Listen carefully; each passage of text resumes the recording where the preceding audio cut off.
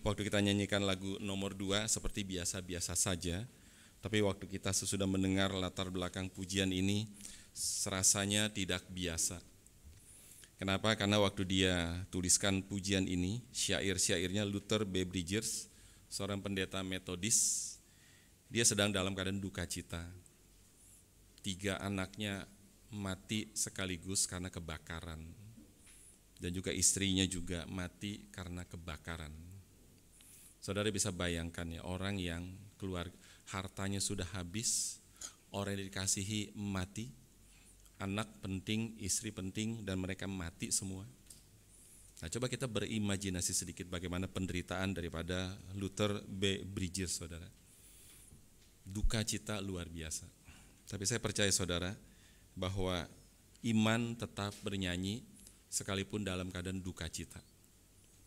Karena iman Kristen adalah iman yang tetap menyanyi sekalipun di tengah kegelapan.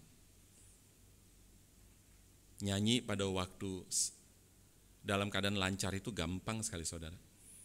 Tapi dalam keadaan gampang pun saudara orang malas menyanyi. Tapi iman Kristen adalah iman yang tetap bernyanyi sekalipun di tengah kegelapan. Maka saya mengajak saudara, waktu saudara nyanyi, nyanyilah. Kenapa? Ini dalam keadaan lancar saudara dalam keadaan duka cita pun kita tetap harus menyanyi memuji Tuhan. Walaupun nyanyiannya tidak sembarangan juga.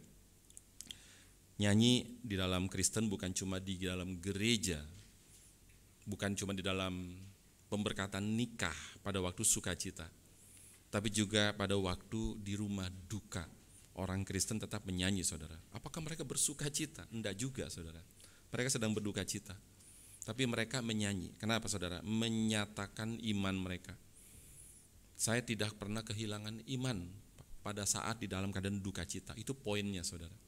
Maka orang-orang yang luar Kristen waktu mereka melihat orang Kristen menyanyi di tengah kedukaan, mereka melihat ini iman macam apa ini? Iman macam apa? Di tengah duka cita pun mereka tetap menyanyi, memuji Tuhannya. Kenapa saudara? Karena orang yang ada di depan kita itu mayat saudara. Orang Kristen tahu dia sudah tidak bersama dengan saya, tetapi dia sudah bersama dengan Tuhannya, penciptanya, penebusnya, dan juga juru selamatnya. Maka orang luar akan melihat saudara.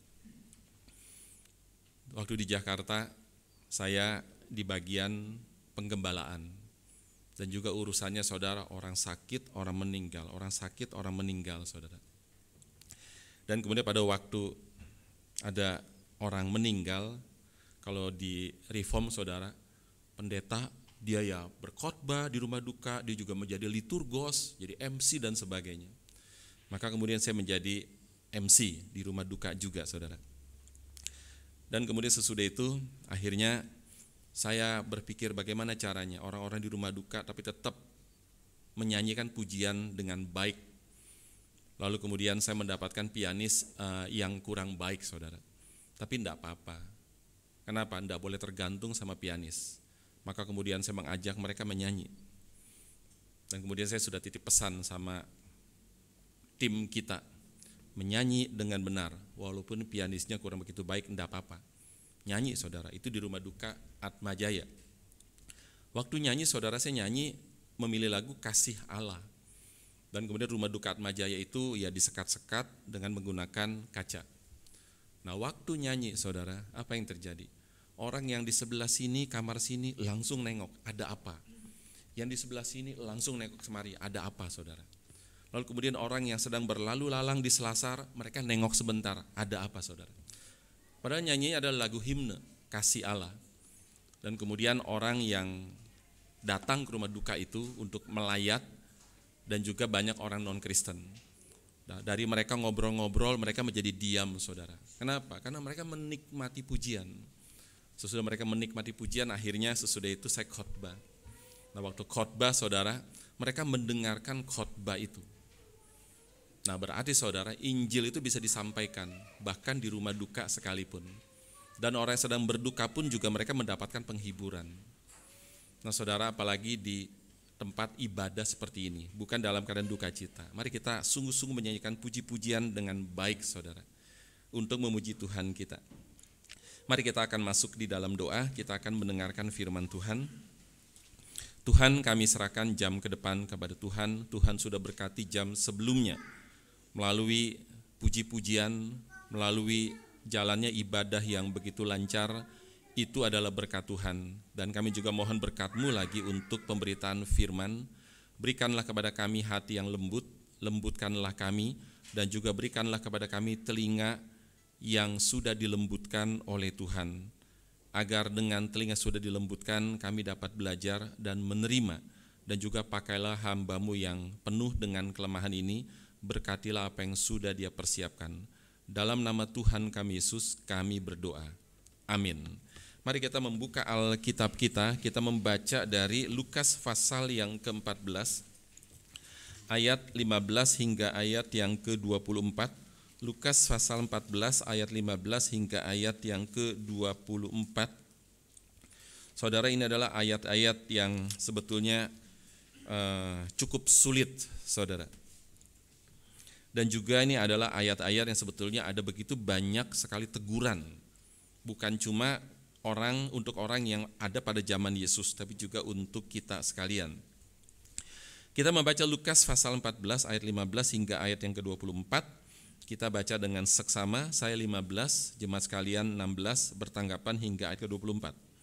Demikian firman Tuhan, mendengar itu berkatalah seorang dari tamu-tamu itu kepada Yesus, Berbahagialah orang yang akan dijamu dalam kerajaan Allah.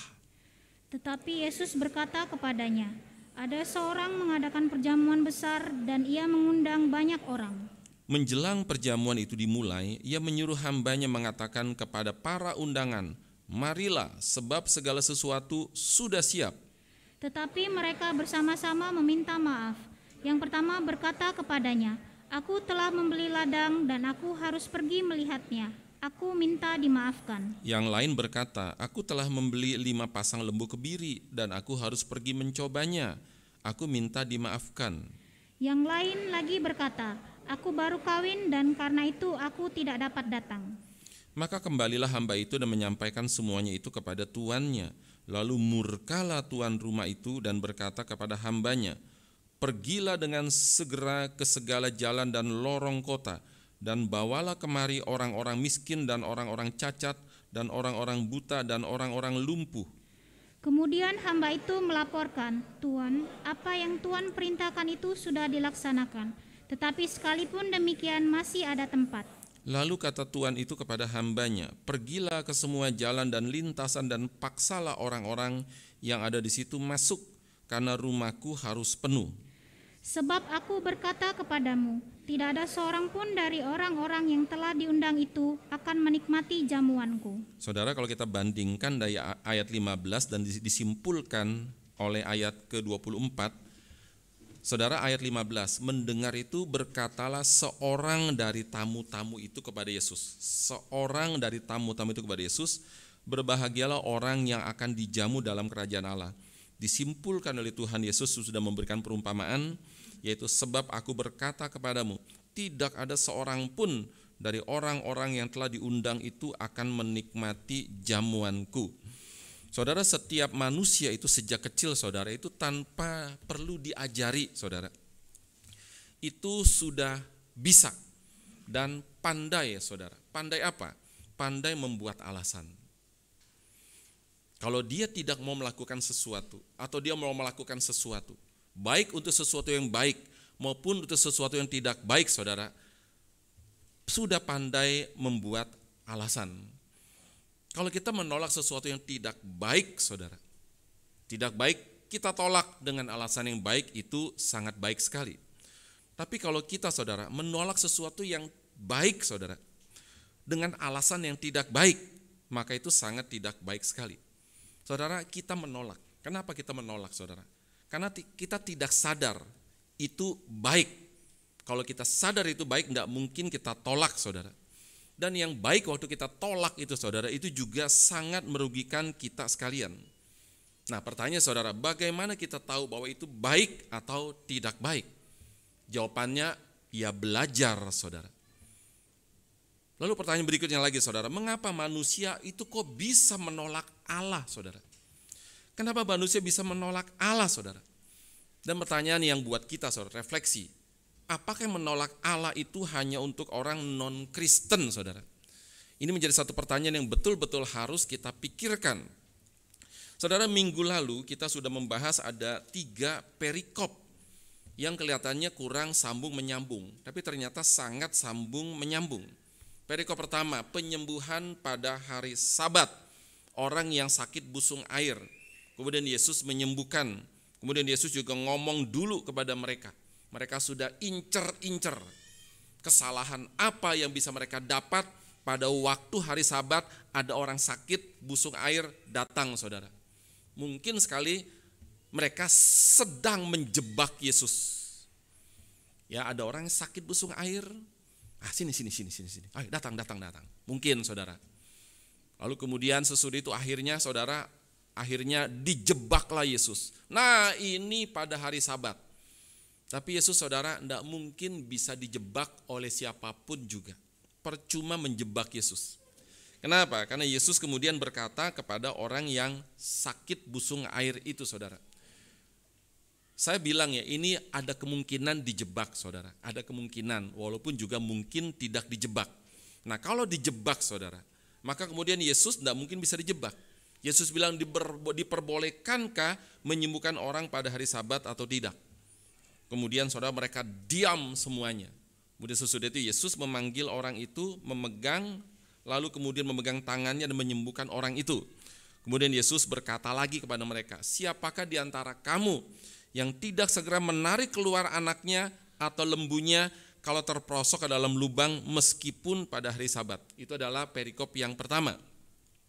Dan perikop yang kedua saudara, di dalam tempat yang sama juga kemungkinan besar saudara, karena kenapa saudara? Karena sesudah itu dalam ayat ke-7, karena Yesus melihat. Tidak ada kata pada suatu kali, tidak. Karena Yesus melihat.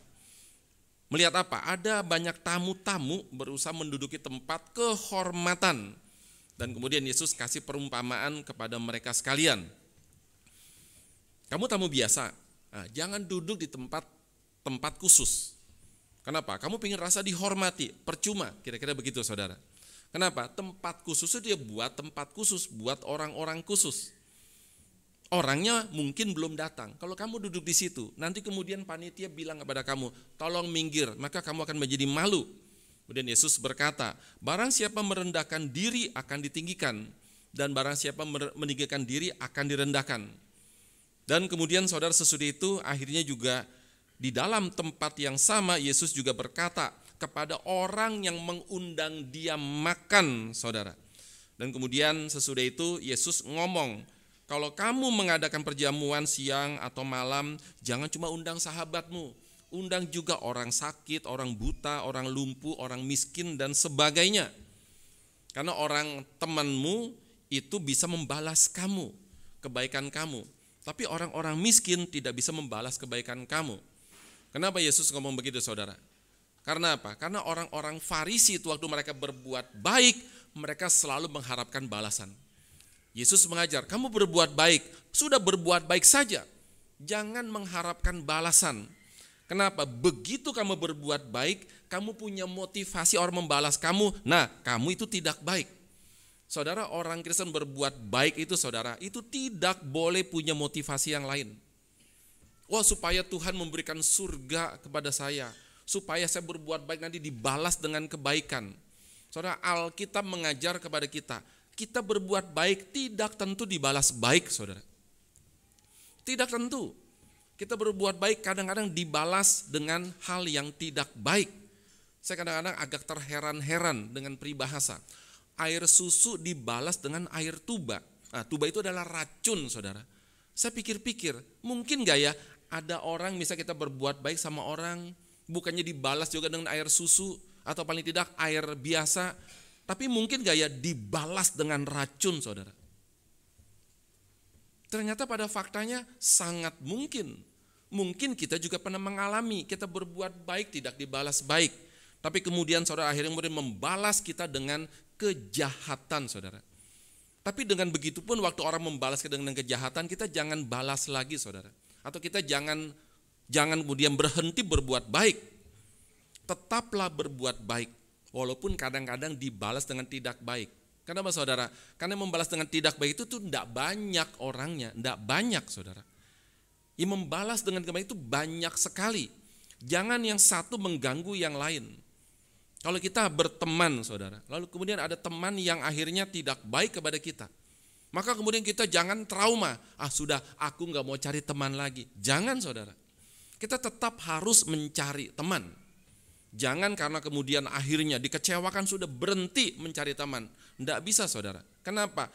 Yang jahat itu tidak banyak. Sedangkan yang baik itu sangat banyak sekali. Dan kemudian sesudah itu akhirnya di dalam ayat yang ke-15, nah mendengar itu, itu itu apa saudara? Itu adalah sesudah Yesus memberikan perumpamaan, sesudah Yesus mengajar, kemudian ada seorang tamu. Seorang dari tamu-tamu itu berkata kepada Yesus, "Berbahagialah orang yang akan dijamu di dalam kerajaan Allah." Kemudian Yesus mengatakan sebuah perumpamaan yang tadi sudah kita baca, Saudara.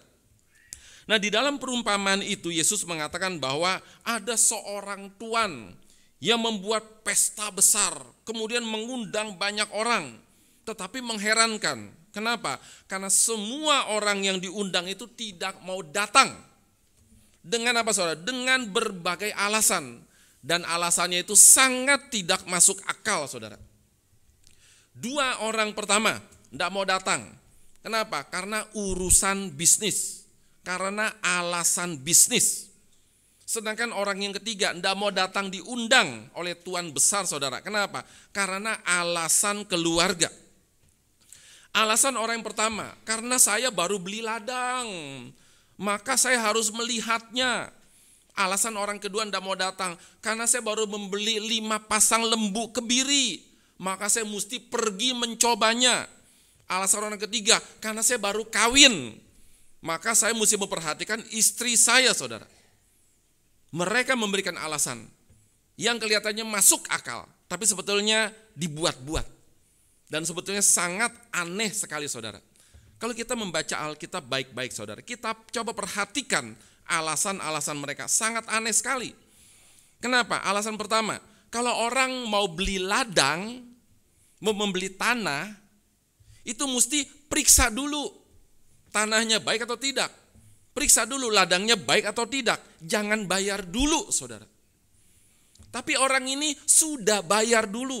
Aku baru membeli ladang, aku mau memeriksanya. Mustinya periksa dulu sebelum bayar. Ini bayar dulu, saudara. Baru kemudian periksa. Nah, ini sangat lucu sekali alasannya. Orang yang kedua, orang kalau mau beli lembu, apalagi lima pasang, itu mesti periksa dulu sebelumnya. Mesti lihat dulu sehat atau sakit. Sakit jangan beli, jangan bayar. Dan kemudian saudara, dia sudah bayar dulu sebelum periksa. Mungkin gak saudara? Yang ketiga, oh saya tidak bisa datang. Kenapa? Karena saya baru kawin. Saya tidak bisa meninggalkan istri saya. Cara logika saudara, cuma beberapa jam saja loh diundang oleh Tuhan besar dengan alasan baru kawin, tidak boleh tinggalkan istri. Cuma beberapa jam saja loh.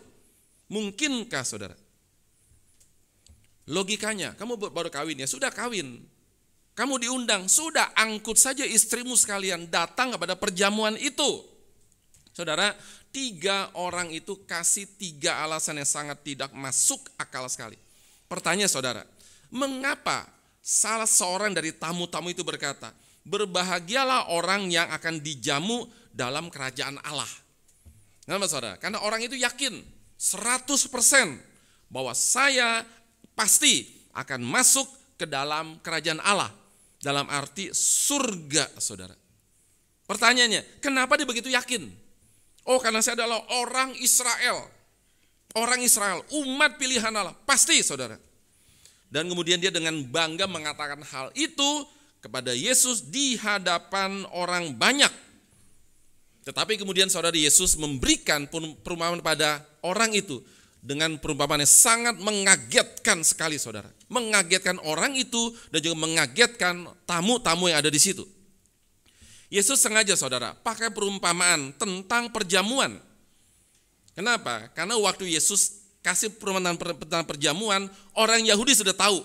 Yang dimaksud adalah undangan dari Allah. Sudah ngerti saudara? Saudara, maksud Yesus memberikan perumpamaan tentang seorang tuan yang memberi yang membuat sesuatu pesta yang besar. Lalu kemudian mengundang orang-orang saudara.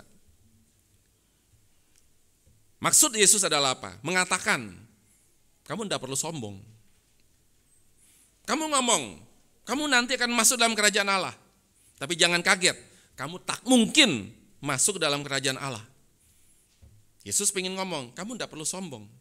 Kamu tidak perlu sok yakin.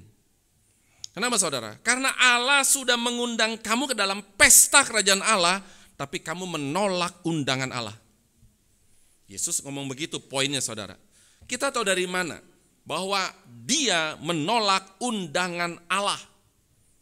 Logikanya saudara, siapa orang yang berani menolak undangan Allah? Saya percaya tak seorang pun berani menolak undangan Allah. Tapi kita tahu dari mama, dari mana bahwa dia menolak undangan Allah, Saudara. Kita tahu dari Lukas 10 ayat 16. Mari kita buka Lukas 10 ayat 16.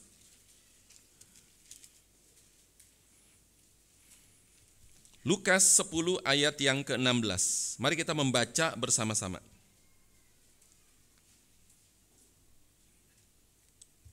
Satu, dua, tiga. Barang siapa mendengarkan kamu, dia mendengarkan aku. Dan barang siapa menolak kamu, dia menolak aku. Dan barang siapa menolak aku, dia menolak dia yang mengutus aku. Barang siapa menolak aku, ia menolak dia yang mengutus aku. Kita tahu dari situ saudara. Kalau mereka tidak menolak Yesus Kristus, maka mereka pasti tidak menolak undangan Allah. Tapi kalau mereka menolak Yesus Kristus sama dengan mereka menolak undangan Allah. Pertanyaan saudara, mengapa mereka menolak Yesus Kristus? Mereka menolak Yesus Kristus sebagai Mesias. Kenapa saudara? Bukankah saudara, Yesus adalah Mesias? Orang yang diutus oleh Allah. Tapi mereka tolak. Kenapa saudara? Karena mereka punya konsep yang salah tentang Mesias. Menurut mereka, Mesias yang akan diutus oleh Allah adalah Mesias yang akan membebaskan mereka dari penjajahan bangsa Romawi yang sangat merendahkan itu. Saudara mereka sebagai bangsa umat pilihan Allah tidak boleh dijajah oleh bangsa kafir. Memang mereka sadar juga saudara. Karena mereka sampai dijajah oleh bangsa kafir. Bangsa Israel saudara pernah dijajah nggak tanggung-tanggung oleh Asyur pada tahun 722 sebelum Masehi. Sesudah selesai, tidak selesai saudara. Digantikan oleh siapa? Oleh bangsa Babel. Tahun 586 sebelum Masehi. Nah, dijajah lagi oleh bangsa Media Persia. Kemudian dijajah lagi oleh bangsa Yunani. Tidak selesai-selesai. Dijajah lagi oleh bangsa Romawi. Tidak selesai-selesai saudara. Maka kemudian saudara mereka sadar, ya kami dijajah karena kami dulu berbuat dosa kepada Tuhan. Tapi mereka juga tahu saudara bahwa Allah janji mengirimkan Mesias. Untuk apa? Untuk membebaskan mereka dari penjajahan bangsa kafir orang Romawi saudara. Dan mereka pikir Mesias yang dikirim adalah Mesias yang kuat secara militer. Tapi Yesus tidak punya militer. Yesus tidak punya kekuatan militer saudara. Bagaimana Yesus bisa membebaskan kami dari penjajahan bangsa kafir Romawi kalau tidak punya kekuatan militer, kalau tidak punya tentara bagaimana mungkin saudara? Tapi mereka tidak pernah berpikir juga saudara. Di dalam perjanjian lama tentang Mesias. Saudara, apakah tidak ada tulisan bahwa Mesias itu bisa dihina oleh orang saudara? Apakah mereka juga tidak pernah membaca bahwa Mesias akan lahir dari seorang perawan dan lahir di palungan, saudara? Mereka baca. Tapi kemudian saudara, mereka saring-saring. Semua nubuatan tentang Mesias itu secara lengkap sudah ditulis di dalam perjanjian lama, tapi disaring-saring oleh mereka. Mereka punya persepsi selektif. Yang cocok saya terima, yang tidak cocok, saya tidak terima. Saudara, kita pun semua saudara punya persepsi selektif. Kita semua saudara juga sering saring-saring. Saya pernah saudara pingin membeli sepeda motor second. Nah lihat iklan koran saudara, pos kota di Jakarta. Nah lihat iklan koran, saya saring-saring. Saya mau motor merek apa? Ah, saya pakai, saya mau motor merek Sogun, Suzuki punya. Ini bagus ini mesinnya. Kemudian saya saring-saring saudara. Ini iklan ini bagus tidak? Oh, kurang bagus. Yang ini bagus tidak? Wah kurang bagus. Oh ada yang bagus saudara. Hari saya tertarik. Dijual motor Sogun tahun sekian. Ex wanita. Ah ini penting saudara. Ex wanita. Ada lagi ex dokter saudara. Kemudian saya lihat, wah mendingan ex wanita saja. Kemudian saya pergi susah payah itu. Kemudian pergi jauh cari-cari, tanya sana, tanya sini, belum ada Google Maps. Dari Mangga Besar ke Bonjeruk saudara, yang ada di Jakarta Barat, cari jauh-jauh, sampai lorong-lorong. Akhirnya ketemu saudara. Ya mau jual motor ya? Iya. Boleh lihat? Boleh. Ah, saya lihat saudara, Sogun saudara. Kemudian saya testing. Begitu testing, dengar bunyi mesinnya, aduh saudara saya kecewa. Saya bilang sama si penjual itu, ternyata calo saudara. Saya tanya, Pak, Pak, Bapak tulis Sogun ex wanita atau ex pembalap wanita Pak? Kenapa? Ini ex pembalap wanita ini. Mesinnya kasar banget, saudara. Jadi kita sering saring-saring. Apalagi kalau kita baca ex dokter. Ah, pasti kalau dokter pakai mobil ya, pasti mulus, saudara. Kita sudah saring-saring. Saudara, emangnya dokter kalau pakai mobil pasti mulus? Enggak juga, saudara. Enggak juga, tapi kita sering kali saring-saring, saudara. Nah orang ini, saudara, orang-orang Yahudi itu mereka menyaring-nyaring mereka mempunyai persepsi selektif, mereka pilah-pilah saudara. Yang cocok sama mereka, mereka terima. Tapi yang tidak cocok sama mereka, mereka tolak saudara. Lalu saudara Yesus yang datang sebagai Mesias atau Kristus. Saudara mesti ngerti ya, Mesias sama Kristus sama saja. Mesias bahasa Ibrani, Kristus bahasa Yunani, sama saja. Dan kemudian yang tidak sesuai dengan pikiran mereka, mereka tolak saudara. Mereka kecewa dengan Yesus. Coba kita buka di dalam Markus pasal yang ke-6, kita baca dari ayat 2 hingga ayat 6a. Markus pasal yang ke-6, ayat 2 hingga ayat yang ke-6a. Saya baca ayat yang pertama, uh, song leader boleh tolong berdiri. Kita baca Markus pasal yang ke-6 ayat 1 hingga ayat yang ke-6a. Saya membaca ayat yang ke-1, Jemaat membaca ayat yang kedua, bertanggapan hingga ayat 6a. LAI kasih judul Yesus ditolak di Nazaret. Kemudian Yesus berangkat dari situ dan tiba di tempat asalnya. Sedang murid-muridnya mengikuti dia. Pada hari Sabat, ia mulai mengajar di rumah ibadat dan jemaat yang besar takjub ketika mendengar dia dan mereka berkata, dari mana diperolehnya semuanya itu? Hikmat apa pulakah yang diberikan kepadanya? Dan muzizat-muzizat yang demikian bagaimanakah dapat diadakan oleh tangannya? Bukankah ia ini tukang kayu, anak Maria, saudara Yakobus, Yoses, Yudas, dan Simon? Dan bukankah saudara-saudaranya yang perempuan ada bersama kita? Lalu mereka kecewa dan menolak dia. Maka Yesus berkata kepada mereka, seorang nabi dihormati di mana-mana kecuali di tempat asalnya sendiri, di antara kaum keluarganya dan di rumahnya. Ia tidak dapat mengadakan satu mujizat pun di sana, kecuali menyembuhkan beberapa orang sakit dengan meletakkan tangannya atas mereka. Ia merasa heran atas ketidakpercayaan mereka. Saudara dalam Markus pasal yang ke-6 itu kemudian saudara mereka takjub sekali saudara. Wah hebat banget ya. Wah dia sangat berhikmat sekali. Mujizatnya wah hebat banget ya. Tapi tidak lama kemudian mereka kecewa. Lah dia kan cuma anak seorang tukang kayu. Anak Yusuf, anak Maria. Kita kenal saudaranya. Ini orang miskin, bukan orang kaya. Kemudian mereka saudara menjadi kecewa dan menolak Yesus saudara.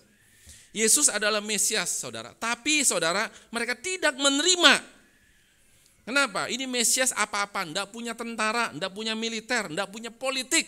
Cuma seorang anak tukang kayu, saudara. Maka kemudian mereka menjadi kecewa dan menolak sang Mesias ini karena tidak sesuai dengan pikiran mereka, saudara. Kalau mereka betul-betul rendah hati, kalau mereka betul-betul belajar baik-baik, saudara, maka mereka pasti akan tahu siapakah Yesus yang sebenarnya, saudara. Saya ulang, kalau mereka betul-betul rendah hati, betul-betul mau belajar, betul-betul mau mendengar saudara, mereka pasti tahu siapa Yesus yang sebenarnya saudara. Kalau mereka tahu siapa Yesus yang sebenarnya, mereka tidak mungkin akan menolak dia. Mereka pasti malah akan bersyukur kepada dia saudara. Tapi mereka itu tidak punya kerendahan hati untuk belajar baik-baik. Sehingga mereka tidak tahu siapakah Yesus saudara.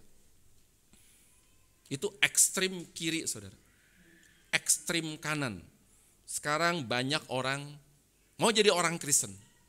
Ekstrim kanan saudara. Tidak belajar Yesus baik-baik. Pokoknya main terima saja. Aku mau jadi orang Kristen aja. Kenapa? Enak lu jadi orang Kristen.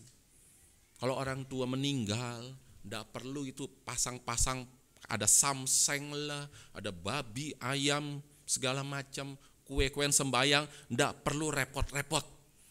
Orang Kristen kalau misalnya sudah mati, sudah kasih bunga aja, selesai. Enak lu jadi orang Kristen. Oh ini kacau balau saudara. Kemudian jadi orang Kristen enak lu. Kenapa? Dijanjikan berkat-berkat Tuhan. Dijanjikan kekayaan. Dijanjikan kelancaran hidup. Enak lu jadi orang Kristen. Saudara jadi Kristen karena alasan itu saudara. Kenapa? Karena praktis. Karena enak. Coba ya orang-orang Buddha itu ya kalau misalnya orang tuanya mati, repotnya luar biasa. Saudara, motivasi tidak benar, saudara. Jadi orang Kristen itu bahkan lebih repot, saudara. Repot apa salah satunya? Dulu ndak jujur, nah sekarang mesti jujur, saudara. Dulu suka korupsi, nah sekarang ndak boleh korupsi. Dulu ndak jujur, sekarang mesti jujur. Itu repot sekali, saudara. Jadi orang Kristen itu repot luar biasa. Bahkan Yesus menuntut, mau jadi pengikut aku, mau jadi murid aku, ah, boleh. Ada syarat, sangkal dirimu dulu. Hidupmu bukan hidup kamu lagi. Hidupmu ditentukan oleh Tuhan. Kamu punya kehendak, kehendakmu harus ikut kehendak saya, bukan kehendakmu.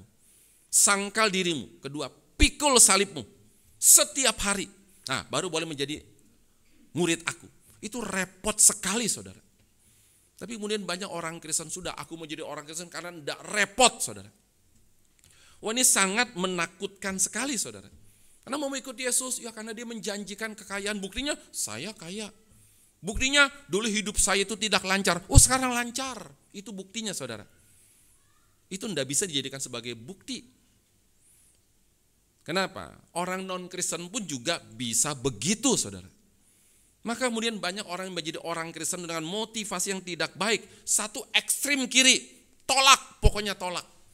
Karena Yesus tidak sesuai dengan harapan saya, tolak saja. Yang satu saudara, terima saja saudara, tanpa menyelidiki terlebih dahulu. Orang-orang pada zaman itu saudara, kalau mereka tahu siapa Yesus, mereka tidak mungkin menolak Yesus. Bahkan mereka akan dengan rendah hati percaya kepada Yesus saudara. Malah bersyukur kepada Yesus. Orang-orang filsuf-filsuf besar saudara. Mereka terus mencari. Seorang bernama Diogenes. Seorang filsuf besar. Ada siang hari dia membawa lentera. Orang bilang, Diogenes kenapa kamu bawa lentera? Siang hari pula. Karena dunia sudah gelap. Hah? Kamu gila, ini terang loh, terang loh siang hari. Kalau kamu bawa lentera malam hari, ah bolehlah. Ini siang hari, dunia ini terang loh. Kenapa kamu bilang gelap? Karena dunia sudah gelap.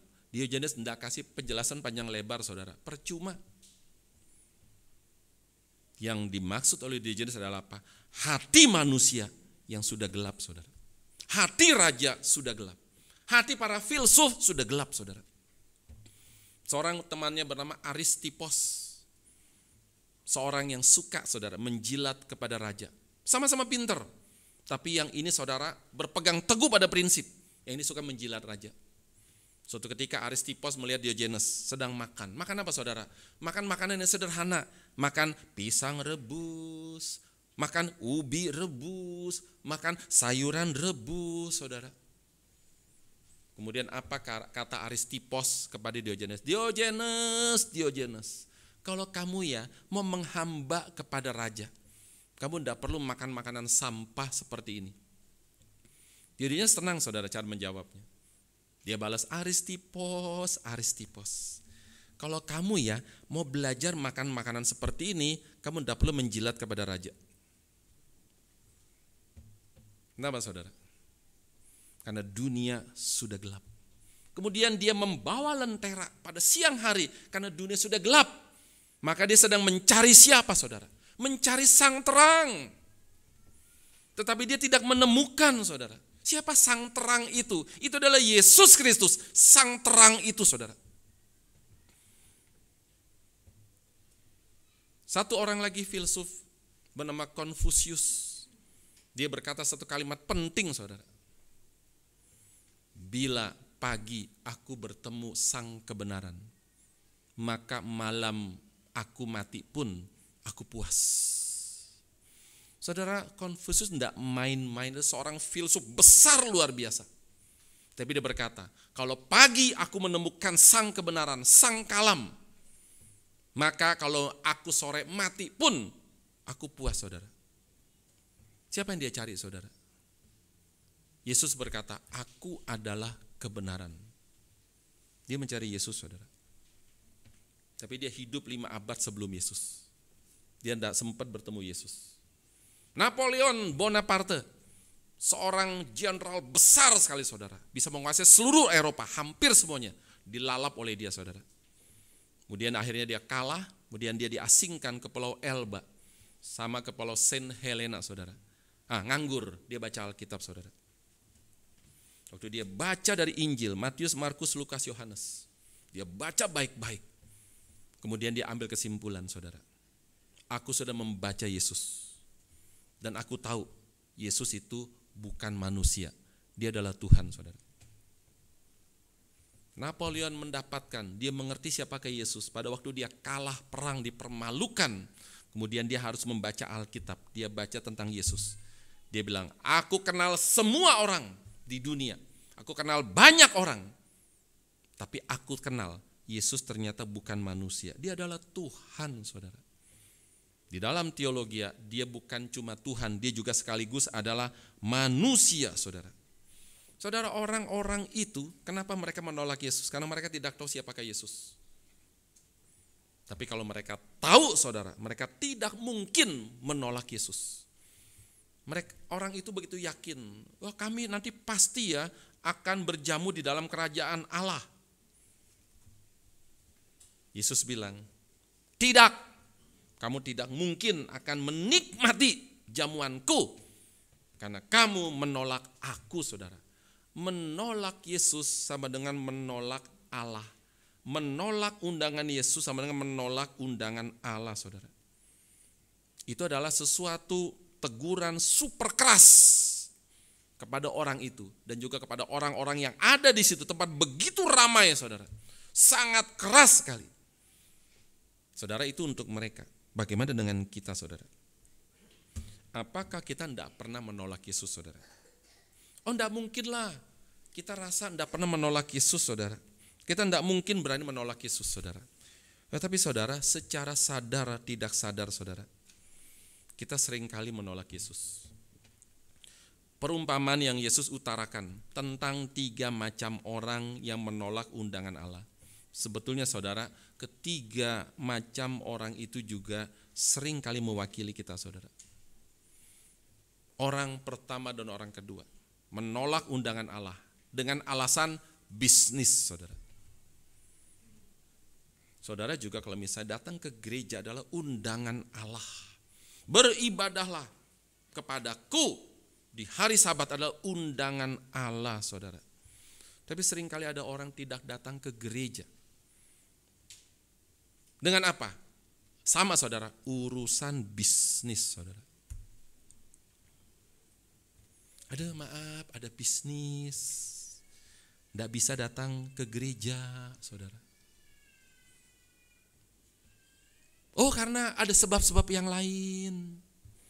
Atau karena malas, tidak mau ke gereja saudara. Ini ya terus terang saudara, saya khotbah begini berat loh. Kenapa? Saudara bisa membenci saya loh. Tapi ini adalah khotbah saudara. Maka tadinya saya pikir ya, ah saya mau ambil Injil Lukas, ah karena agak ringan sedikit dibanding surat-surat Paulus itu berat luar biasa. Ah, ambil Lukas ah agak ringan sedikit. Waktu baca-baca lagi, waduh ini berat luar biasa. Kenapa? Karena terlalu banyak teguran, saudara.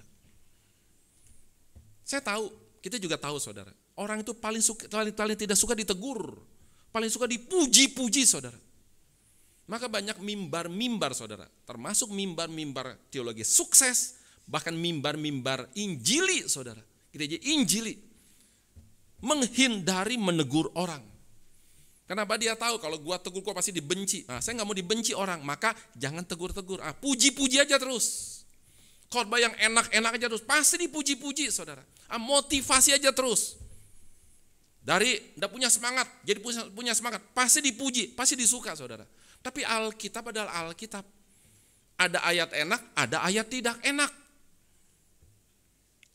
Ada ayat yang kemudian membuat kita oh bersuka cita sekali.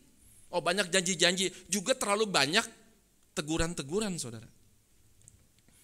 Saudara, datang ke gereja adalah undangan dari Allah saudara. Tapi sering kali saudara kita pakai alasan, oh ada urusan bisnis. Atau sering kali saudara datang ke gereja percuma lah. Kenapa? Karena nggak dapat apa-apa saudara. Percuma datang ke gereja nggak dapat apa-apa, bahkan mesti memberi apa-apa. Mesti kasih persembahan, sudah ditegur-tegur mesti kasih persembahan lagi saudara. Wah disharingkan terus tentang pembangunan, ayo memberi, memberi. Bukan dapat apa-apa, malah memberi apa-apa saudara. Nah pertanyaan saudara, mengapa ya orang itu saudara, orang itu tadi dalam dari dalam perikop tadi saudara, itu tidak merasa perlu Yesus, bahkan menolak Yesus saudara. Karena orang itu tidak tahu bahwa Yesus adalah Allah, baik di perjanjian lama maupun di perjanjian baru. Dan dia tidak tahu saudara, Yesus kenapa? Karena tidak ada kerendahan hati untuk belajar saudara. Kalau dia punya kerendahan hati untuk belajar saudara, dia pasti tahu siapakah Yesus. Dia pasti akan diberitahu oleh Allah siapakah Yesus saudara. Saudara, ini menjadi refleksi buat kita sekalian. Kenapa ya kita juga tidak merasa perlu untuk datang ke gereja saudara. Karena ke gereja atau tidak ke gereja tidak ada masalah sama sekali saudara. Lalu kemudian kenapa? Enggak ada masalah sama sekali. Betulkah enggak ada masalah sama sekali saudara? Saudara harus ngerti dan harus tahu. Sadar atau tidak sadar saudara. Hari Minggu di seluruh dunia, cuma beberapa negara yang tidak libur saudara.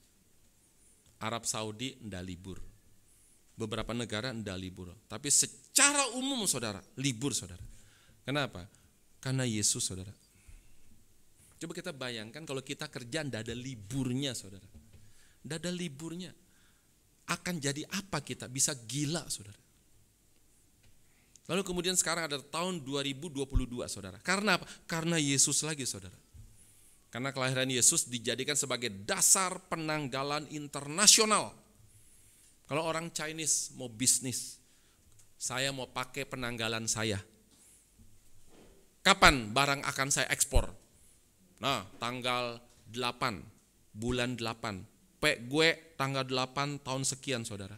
Kemudian orang Arab, saya tidak mau pakai penanggalan Chinese, saya mau pakai penanggalan Arab. Mau jadi apa saudara? Mana bisa bisnis? Orang Jawa bangga, saya mau pakai penanggalan Jawa. Tidak bisa, harus pakai Jawa saudara. Mau jadi apa saudara? Tapi kemudian kenapa bisnis bisa berjalan saudara? Kenapa? Karena Yesus ada penanggalan internasional yang bersifat internasional dan orang semua tahu dan semua orang terima saudara. Kenapa? Karena Yesus. Kenapa minggu libur? Karena Yesus saudara. Kalau Yesus nggak pernah hadir dalam dunia ini saudara. Coba kita, kita pikir baik-baik saudara. Akan jadi apa dunia ini? Poligami saudara itu tidak ditolak oleh semua agama dan semua kebudayaan saudara. Tapi cuma Kristen, Yesus, tidak mau poligami, harus monogami. Kamu terima, ada terima, terserah kamu. Harus monogami. Kenapa? Karena Tuhan cuma menciptakan satu Hawa untuk satu Adam, saudara. Tuhan dah cipta Hawa, Tuhan dah cipta Cindy, Tuhan dah cipta Jessica buat satu Adam enggak, saudara. Tuhan cuma cipta satu Hawa untuk satu Adam. Jadi monogami, saudara. Kamu terima boleh, enggak terima, enggak apa-apa, saudara. Saudara, kalau poligami, saudara, akan jadi apa dunia ini, saudara? Punya istri banyak, punya anak banyak, ribut urusan warisan saudara. Poligami, monogami itu lebih menjamin saudara daripada poligami saudara. Wah sinar mas, orang tuanya meninggal, anaknya entah berapa puluh saudara. Sudah ya, mati ya, sudah dikubur ya, tidak lama kemudian muncul gugatan saudara. Masa saya cuma dapat berapa ratus miliar, ha? Berapa ratus miliar cuma saudara, cuma Harta papa saya kan 731 triliun seluruh asetnya. Masa cuma dapat beberapa ratus miliar? Ha, cuma saudara. Ribut. Kenapa? Karena poligami saudara. Saudara kalau kita saudara ogah-ogahan datang ke gereja. Itu sama dengan saudara tidak ke gereja. Kalau kita ogah-ogahan mendengar khotbah saudara, itu sama dengan tidak mendengar khotbah. Kalau kita ogah-ogahan datang ke gereja, itu sama dengan setengah hati datang ke gereja, saudara. Pertanyaannya, kenapa ada orang setengah hati datang beribadah ke gereja, saudara?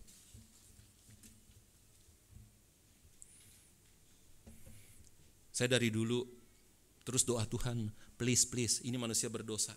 Kalau ke gereja kadang setengah hati, saudara. Terus Tuhan tolong, Tuhan jangan setengah hati. Tidak boleh setengah hati. Maka sebelah aduh Tuhan tolong, ini manusia berdosa nih Tuhan, manusia berdosa. Kadang setengah hati loh. Tuhan jangan, tolong berikan sepenuh hati. Saya beribadah kepada Tuhan saudara. Kenapa banyak orang setengah hati? Karena tidak tahu, tidak sadar betapa pentingnya beribadah saudara. Ada satu orang nah, pindah agama. Sebetulnya gampang sekali nebaknya saudara kenapa pindah. Karena kawin aja saudara. Seorang artis, oh pinter banget tulis buku Supernova Pinter banget saudara. Kemudian pindah agama. Alasannya apa? Saya baca-baca alasannya. Ya saya pindah agama. Kenapa? Karena dulu waktu saya masih kecil itu ya disuruh oleh orang tua ke sekolah minggu. Mama papa sih pejabat gereja, jadi suruh ke sekolah minggu. Tapi tidak dikasih ngerti kenapa sekolah minggu, tidak, dikasih ngerti. Kemudian saudara dia bilang, saya mesti pindah agama lah. Kenapa? Senin sampai Sabtu sudah capek sekolah. Minggu istirahat. Ke gereja capek lagi. Jadi ke gereja itu tidak harus, tapi dipaksa oleh orang tua, saudara. Kemudian dia sudah bebas, sudah besar, saudara, ah, sudah tidak ke gereja lagi. Kenapa? Karena dulu dipaksa dan tidak mengerti, saudara. Saudara juga ya pada waktu anak sekolah minggu, saudara, harus kasih pengertian. Kita beribadah kepada Tuhan loh. Dia menciptakan kita, dia memberikan sukacita kepada kita, dia menebus kita. Nah kita mesti bersyukur kepada Tuhan. Kapan? Hari Minggu saudara. Maka orang itu kemudian dia pindah agama. Kenapa? Karena dulu dari Senin sampai Sabtu capek. Minggu mesti capek lagi. Ah, tidak masuk akal iman Kristen. Cuma dalam hati saudara, ini orang tuanya pejabat gereja bodohnya luar biasa saudara tidak memberikan pengertian kepada anaknya. Kenapa kita mesti datang ke gereja itu di hari Minggu, saudara? Kenapa saudara tidak sadar betapa pentingnya beribadah? Karena tidak tahu. Kenapa tidak tahu? Karena tidak belajar saudara. Kalau kita belajar betapa pentingnya itu ibadah saudara, maka tidak mungkin kita setengah hati beribadah. Tapi kita akan sepenuh hati beribadah saudara. Kalau kita sepenuh hati beribadah, itu sama dengan namanya menyambut undangan Allah dengan sukacita saudara. Kalau kita beribadah dan sukacita setengah hati saudara berarti kita saudara setengah-setengah. Tapi kalau kita dengan sukacita berarti menyambut undangan Allah dengan sukacita saudara. Kalau kita tahu ya betapa pentingnya ibadah, betapa pentingnya baca Alkitab, betapa pentingnya doa, betapa pentingnya melayani, betapa pentingnya menginjil saudara. Maka kita tahu saudara, kita tidak mungkin menolak undangan Allah, saudara. Dulu waktu waktu, waktu di Sunter, ah, PA, dulu hari Selasa. Kemudian ada satu orang telepon saya. Ada PA Pak? Ah, tetap ada hujan deras saudara. Tentang apa? Tentang mengapa beribadah. Lalu kemudian saya mesti jemput dia, mangga besar, saudara kemudian batu tulis, lalu kemudian akhirnya sunter saudara. Karena mesti jemput dia, ya orangnya ada masalah di dalam pendengaran. Dan kemudian dulu saudara, yang namanya ojek mahal banget saudara. Sekarang sih murah. Jadi saya mesti jemput dia. Jemput pakai dua jas hujan, kemudian pergi ke Sunter saudara. Demi satu orang ini. Kemudian saudara membahas supaya tentang beta, mengapa beribadah dan betapa pentingnya ibadah saudara. Wah hujan deras, ya enggak apa-apa saudara. Kemudian sesudah selesai, kemudian dia berkata, aduh Pak Amin makasih ya. Hari ini saya sudah ikut PA belajar betapa pentingnya ibadah, maka beribadah saya jadi tahu mengapa pentingnya ibadah dan saya akan terus beribadah, Saudara. Memang saya mesti jemput dia, Saudara. Memang Saudara Jakarta, Mangga Besar, Batu Tulis, Sunter itu berapa puluh kilo, Saudara. Tapi tidak apa-apa. Kenapa? Yang penting dia ngerti betapa pentingnya beribadah, Saudara.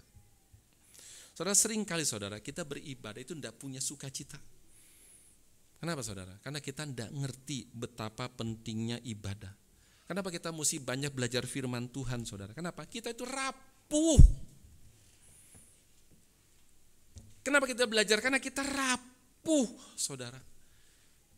Kita ini orang yang sangat getas, rapuh. Kenapa saudara? Karena kita cuma terbuat dari tanah. Saudara tahu ya namanya gentong tempayan atau bahkan keramik saudara itu rapuh sekali, didorong dikit pecah saudara. Kita tidak terbuat dari besi yang kokoh tidak, tapi dari tanah yang rapuh saudara. Maka kita mesti belajar banyak firman Tuhan supaya kita menjadi kuat saudara. Dan kemudian ketiga orang yang Yesus perumpamakan itu saudara, menolak undangan Allah dengan berbagai alasan yang dibuat-buat maka kemudian saudara si tuan rumah itu atau Allah dia murka. Kemudian dia suruh undang orang lain masuk ke dalam pestanya dia. Orang cacat, orang miskin, orang buta, orang tuli, panggil mereka. Sedangkan orang yang menolak undangan Allah, dia tidak akan menikmati perjamuan bersama dengan Allah. Yesus tegur sangat keras saudara. Dan sebaliknya mereka akan dibuang ke tempat di mana di sana ada ratap tangis kertak gigi tidak habis habis saudara. Kenapa? Karena mereka menolak Yesus. Mereka bilang, oh nanti kami akan dijamu ya di dalam perjamuan Allah saudara. Yesus bilang, tidak. Kenapa? Karena kamu menolak undangan Allah. Oh enggak, kami enggak tolak. Nah, kamu tolak aku sama dengan tolak Allah. Saudara mereka pede banget saudara. Tapi kemudian Yesus tegur. Tidak. Justru orang-orang yang miskin ini loh. Yang tidak punya harapan. Mereka jadi punya harapan. Dan mereka lah orang-orang yang menerima undangan Allah dan berjamu bersama dengan Allah saudara di sorga. Siapa orang itu saudara? Kita.